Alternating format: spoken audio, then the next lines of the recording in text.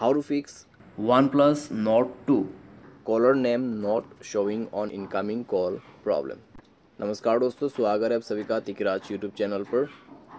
तो दोस्तों आज के इस वीडियो पर मैं आपको बताऊँगा कि कैसे आप जो है अपने वन प्लस के डिवाइस में caller name not showing on incoming call problem solve कैसे कर सकते हैं।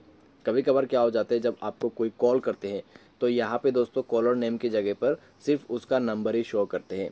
हालाँकि दोस्तों, हमने वो नंबर सेव किया होते, लेकिन कई बार ऐसा होते है कि यहाँ पे उनका जो नेम है, वो शो नहीं करते। तो ऐसा क्यों होता है कैसे आपको सॉल्व करना है प्रॉब्लम क्या चेक करना होगा, कैसा सेटिंग करना है, वो सब मैं आपको इस वीडियो में बताने वाला हूँ। तो वीडियो के साथ अंत तक बने रहिए सारे साथ चैनल को सब्सक्राइब करके बेल आइकन को क्लिक करें। अगर आप ऑनलाइन पैसा कमाना चाहते हैं तो वीडियो डिस्क्रिप्शन पर आपको लिंक मिल जाएगा।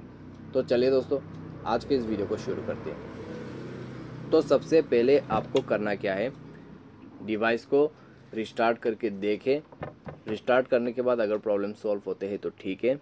अगर रिस्टार्ट करने के बाद भी सेम प्रॉब्लम है तो दोस्तों आपको क्या करना होगा?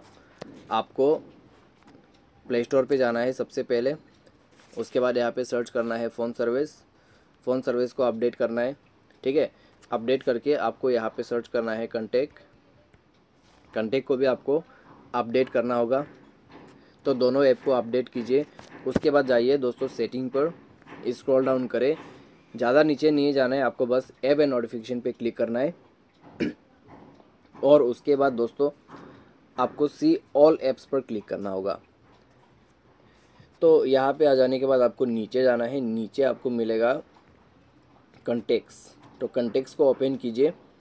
और उसके बाद दोस्तों आपको स्टोरेज एंड कैश पर जाना है।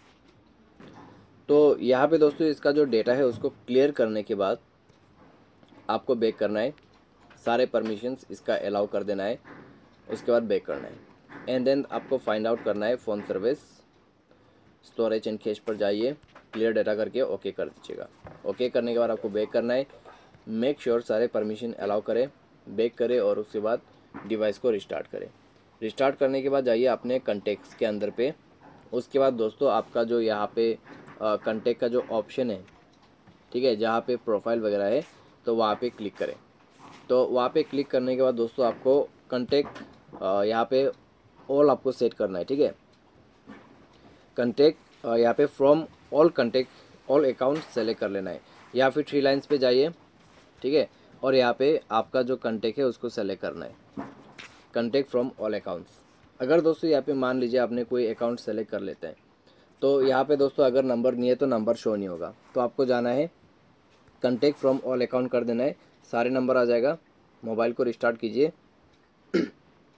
उसके बाद दोस्तों, देखेगा आपका प्रॉब्लम फिक्स हो जाएगा। सारे साथ, अगर मोबाइल सॉफ्टवेयर अपडेट नहीं है तो दोस्तों मोबाइल सॉफ्टवेयर अपडेट कीजिए, ठीक है? तो इस तरीके का कोई भी प्रॉब्लम कोई भी इश्यू नहीं होगा। तो जो भी दोस्तों पॉसिबल सॉल्यूशन था contact name not showing on incoming call problem का। तो वो दोस्तों यहाँ पे मैंने आपको दिया, दे दिया है। तो आप इस प्रकार से सॉल्यूशन करके अपना प्रॉब्लम सॉल्व कर सकते हैं contact name not showing on incoming call problem उम्मीद करते हैं आपको ये वीडियो पसंद आया होगा। Thanks for watching